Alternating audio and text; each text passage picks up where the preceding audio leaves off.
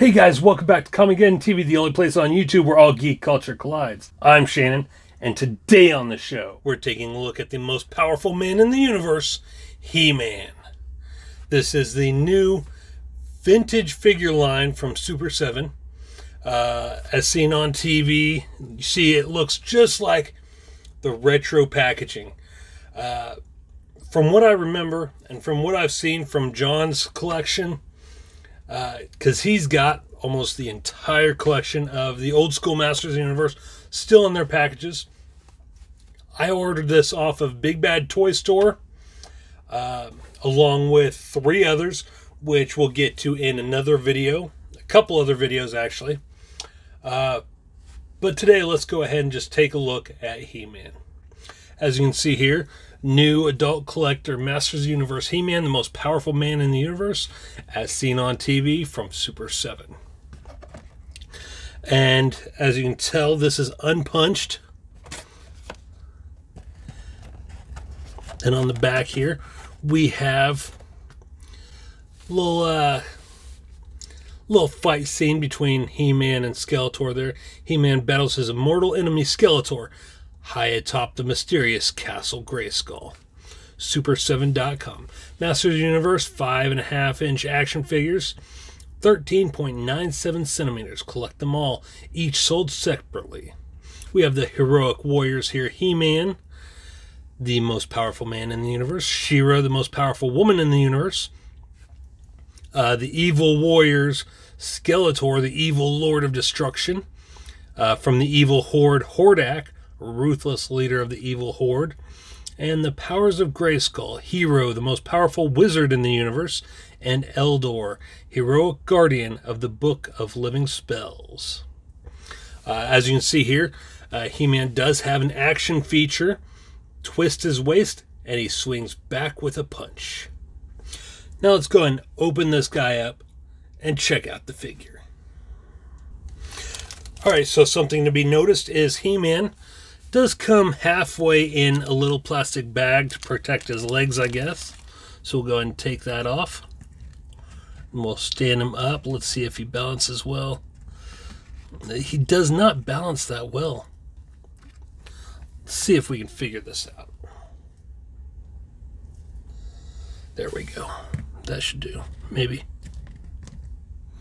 Still no. Hmm.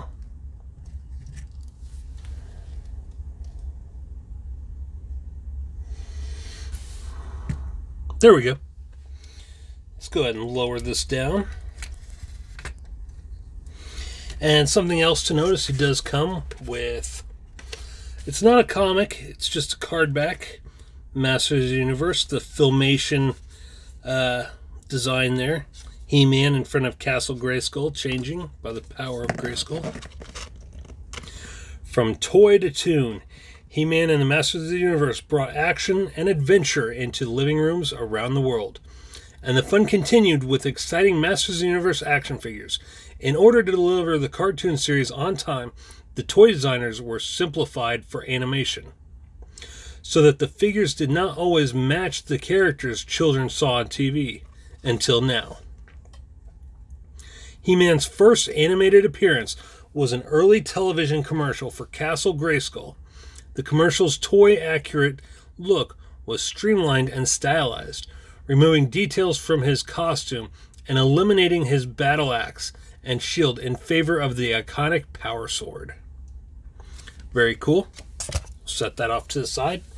And we also got baggie of weapons. Let's go ahead and take those out and we'll take a look at the weapons. That is if, of course, I can get it torn open.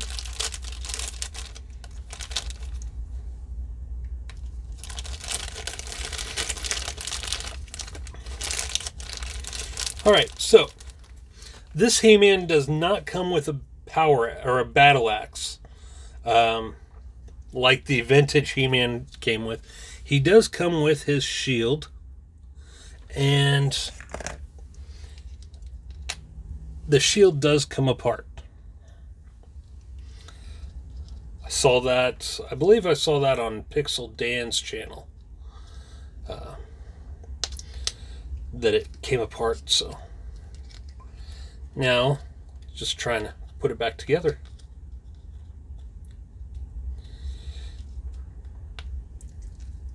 There we go. Just snaps back together. You got to make sure and line up the smaller holes correctly, and then the rest of it will just pop into place. It also comes with half of the power sword, just like the vintage uh, figure did. And it comes with a full power sword. Very cool. Uh, these are a little bit harder plastic than the originals. Uh, from what I remember, the plastic for the originals was kind of soft, really, uh, very flimsy. But these are pretty pretty solid. Now let's go ahead and take a look at He-Man. Uh, as you can tell, some of the main differences between this He-Man and the original action figure is the hairstyle, for one. Uh, he does not have the rubber or soft plastic head. Uh, it is a solid head. He is a little bit shinier, and he does not have the um, the little squares on his power harness. Uh, other than that, oh, also his bracelets. Uh, in the original line, only half of the bracelets were colored, and they had uh, circles on them, similar to his power belt here. Uh, but this line, just very solid. Looks just like the cartoon, except the cartoon did not have a design on the belt. Looks like so. Now that we got that out of the way, this leg is a little bit looser than this one. This one's a little bit more solid.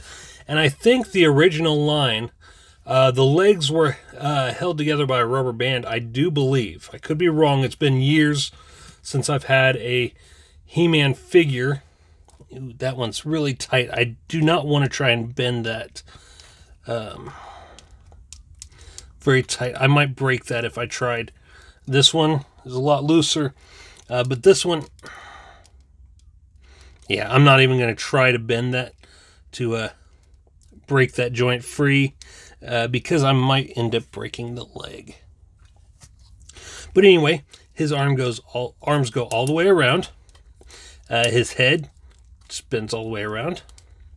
He turns at the waist, which is part of his action feature. Yeah. And that's a very solid action feature. Uh, anyway, you saw the legs go out, and they got a joint right there. Right there. Then go out about that far uh, if it's not stiff.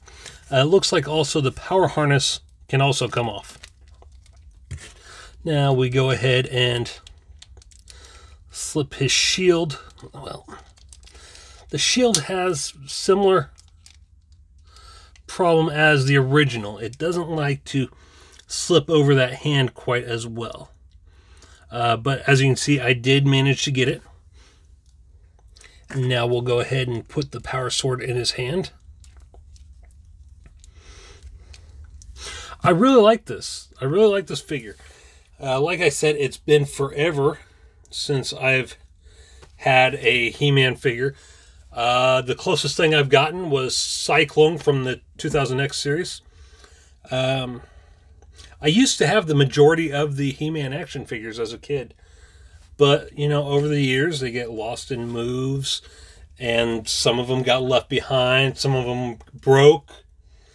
You know, it is what it is. That's what happens when you grow up.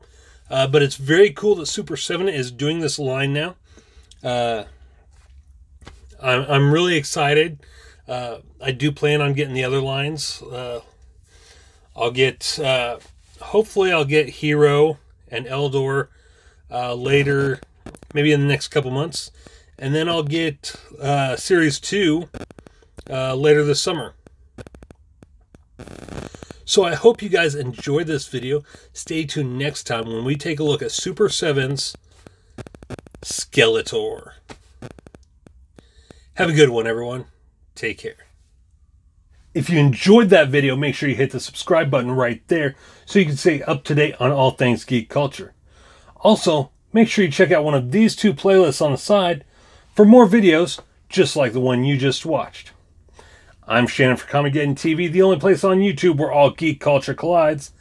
Take care, geeks.